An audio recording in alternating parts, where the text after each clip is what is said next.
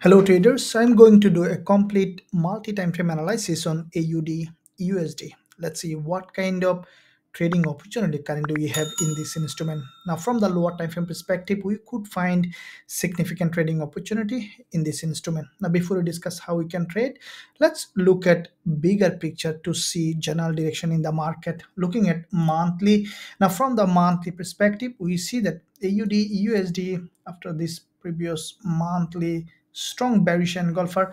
This month so far the price has shown a significant drop.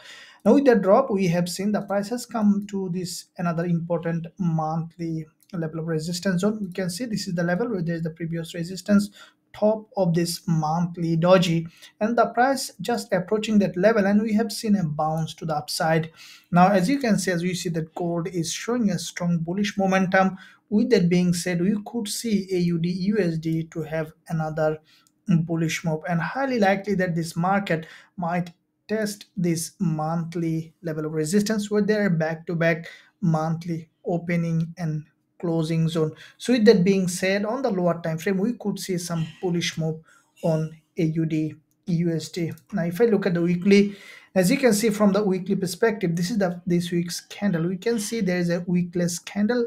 The price opened with a strong bullish momentum without breaking this weekly low. And so far we have seen strong bullish move and the price initially has reached that resistance zone and primarily we have seen a rejection. Now as we uh, have seen already there is a retracement on the weekly. Now we could potentially see another attempt from the buyers to break this high.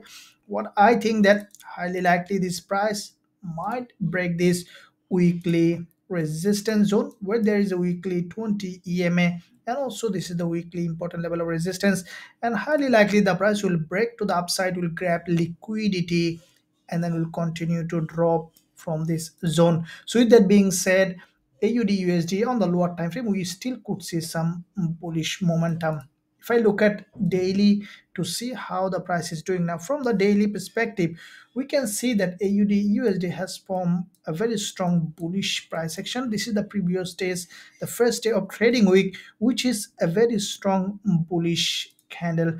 If you closely look at there are back to back three dojis on the daily and from that level from this liquidity zone we have seen the price formed a wickless candle created this daily candle which has half body almost half wick at the top.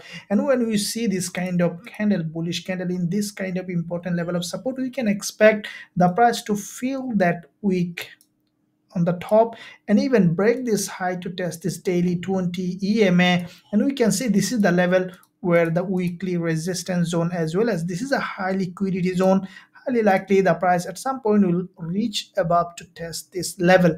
So monthly weekly and daily we are seeing potential bullish trading opportunity on aud usd looking at further lower time frame to see how the price action is forming. Now we can see that aud usd respected this level of support.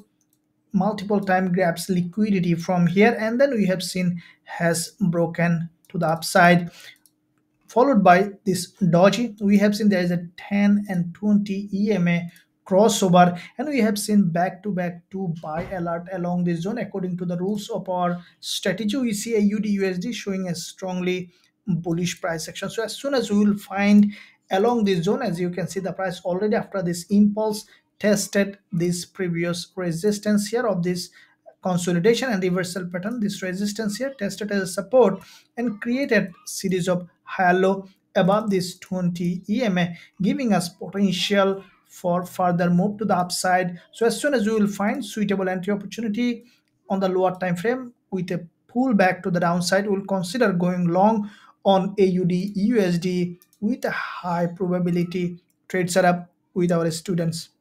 Now, if you find value in this analysis, then smash the like button and also let us know in the comment section which way you are trading AUD USD. Thank you. I'll see you soon in my next analysis.